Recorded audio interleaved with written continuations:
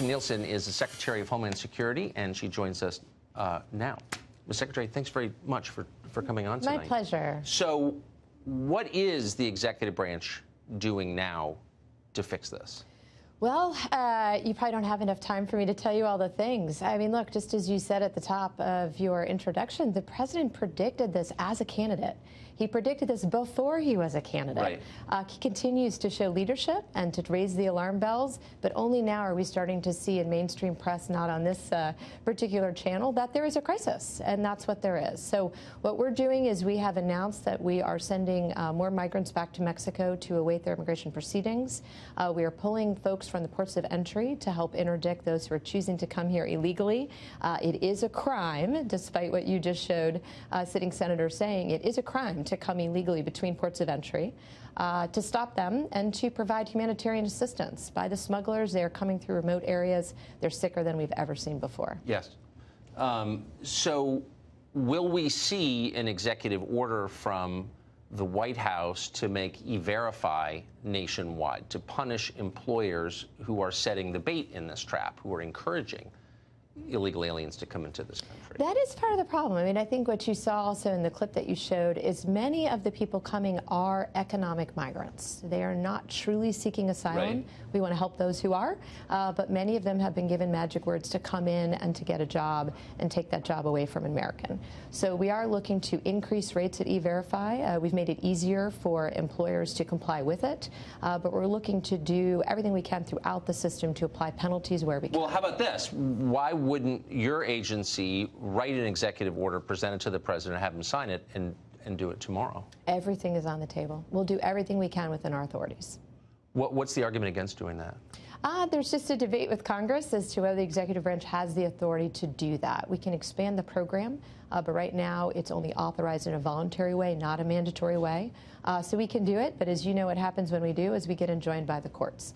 So it's one of many issues we're looking to work with Congress on. We'll continue to uh, drive that. Do you think, I mean, it looks from, I mean, you probably have fresher knowledge than we do out here, but it looks like Congress is not going to act because one party has a vested interest in changing the population, and the other party is, uh, in effect, controlled by people who, who want illegal immigration.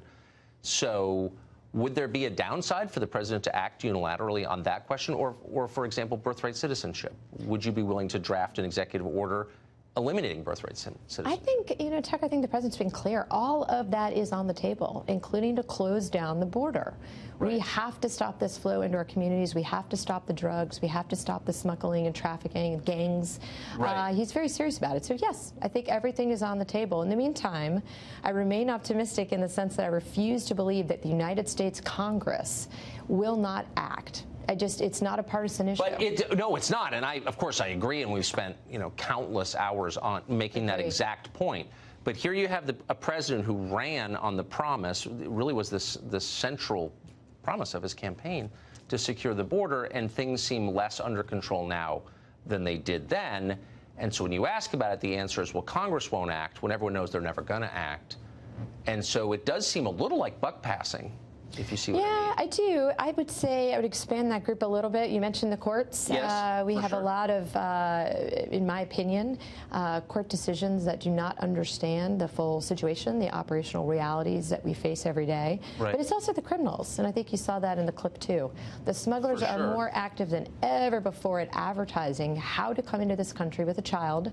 Uh, we've broken up so-called child recycling rings, if you can believe it, in the last uh, couple months, which is where smugglers uh, kidnap a child, they give it to an adult uh, to cross the border, present themselves as a family.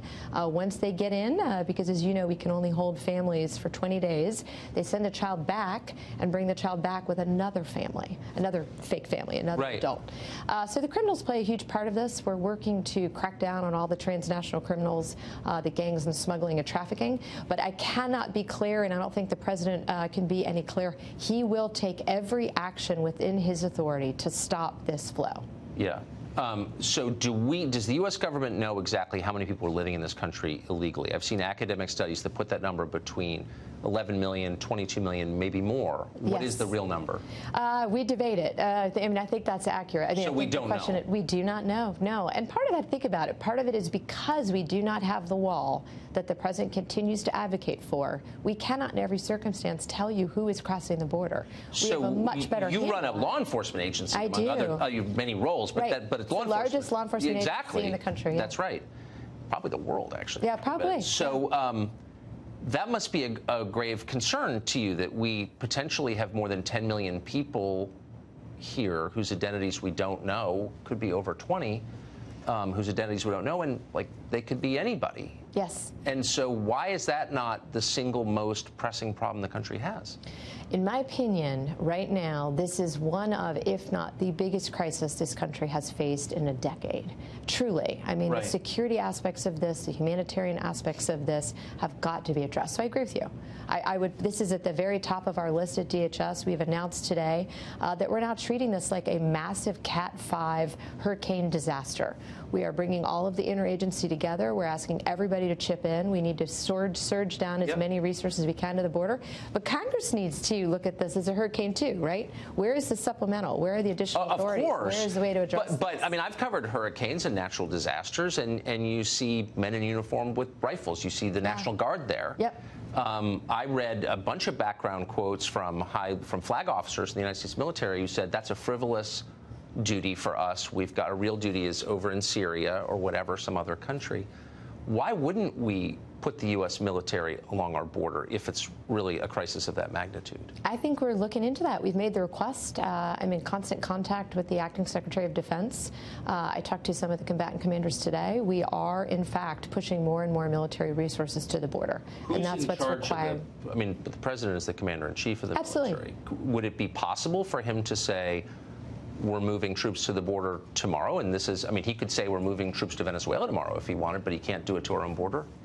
No, I think he absolutely, of course, has full authority to defend our country. Right. Uh, and I think that's what he's moving to do. I mean, his statements in the last week about closing the border are a perfect example. He will take all action that is required to do this. So, yes, it's on the table. We're actively moving uh, in discussions about moving more troops down now.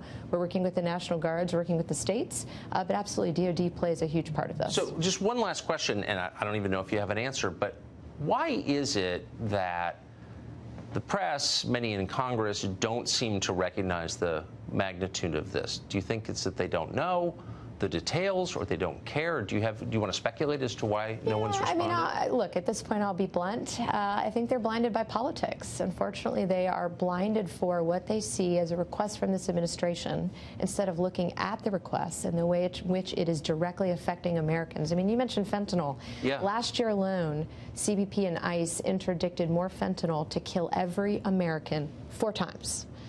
I mean, the, the effects that are, this is having in American society cannot be I, understated. I agree So with that. Do we have any only- sense of how much got through without being uh, we do. We do not. But the good news is the president requested uh, and did receive additional resources at the border to interdict drugs, uh, and we are actively implementing this. But to your point, the facts don't lie. So I don't believe that they don't see it or they don't understand it. They are just willfully choosing to ignore it. But the more Americans who suffer, uh, they are going to have to look at this. I hope they do it sooner Yeah. than later. I, I, I hope so too. Thank you very much. oh, my pleasure. Thank you.